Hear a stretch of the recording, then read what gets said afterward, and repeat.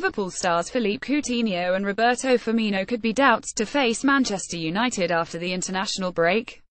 The Reds welcome United to Anfield on Saturday, October 14 at 12.30 pm. However, Coutinho and Firmino will only arrive back at Melwood on the Thursday prior to the huge Premier League clash. And the Metro claim Jurgen Klopp might be without his two-star men for the United game.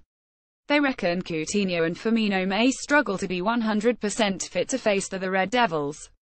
The Liverpool duo are expected to play against Chile in Brazil's final World Cup qualifier in Sao Paulo, which finishes in the early hours of Wednesday morning, who would be top of the Premier League table based on results so far this calendar year Getty 20.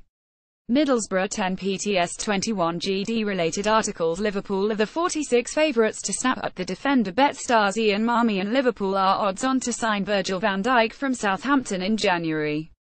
BetStars spokesperson Ian Marmion said Southampton centre-back Virgil van Dijk has been interested in a move away from St Mary's for months and Liverpool are the 46 favourites to snap up the defender. The 26-year-old has hinted that he is ready to leave the club come January and with Liverpool's current defensive problems, Jurgen Klopp will be keen to bring the Dutchman across to Anfield. Man City are also interested in pinching Van Dijk and are priced at 51 to lure him to Manchester. Arsenal, Manchester United and Chelsea are available at 81 1, 111 and 141 respectively to sign Van Dijk from Southampton.